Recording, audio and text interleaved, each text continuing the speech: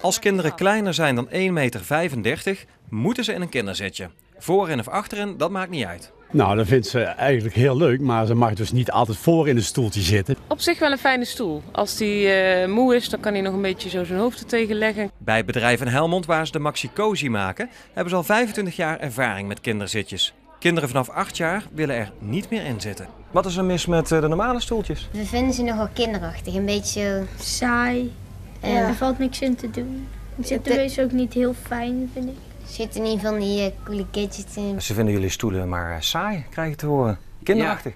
Ja, dat is, eh, dat, is, eh, dat is iets wat we de laatste, de laatste jaren terug, eh, terugkrijgen van, eh, van kinderen.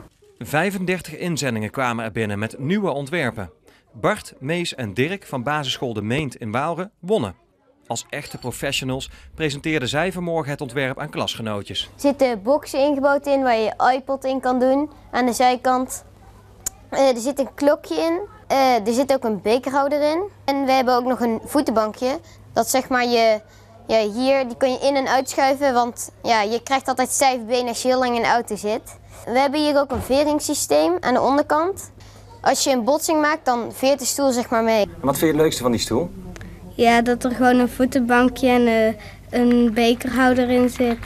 Klinkt ook wel een beetje verwend, hè? Nou ja, misschien is dat wel de jeugd van tegenwoordig. Als beloning kreeg de hele klas vanmorgen een rondleiding door de fabriek. En het bedrijf kijkt nu of de nieuwe stoel in productie genomen kan worden. Zeg, en eh, zijn jullie over een paar jaar miljonair? Ja, hoop ik wel. Ik hoop het wel. Ja, ik ook Hij is het al.